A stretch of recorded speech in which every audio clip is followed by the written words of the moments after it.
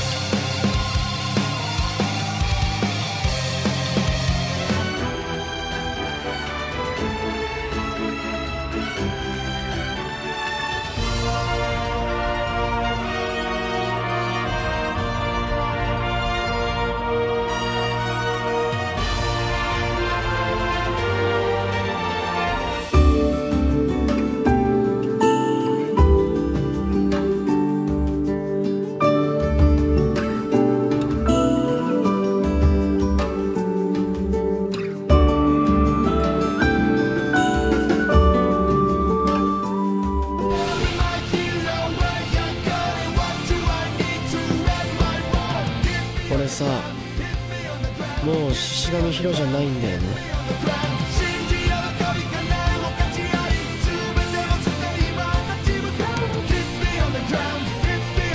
二度と触れられ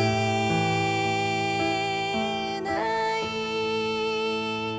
ただ一こんなもんかよ。俺やこいつらが憧れてきた砂の海の外は。ねえせっかく外に出たんだしスープ飲もうよスープ。